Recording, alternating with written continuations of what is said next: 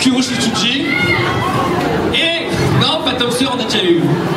Et Détective Conan.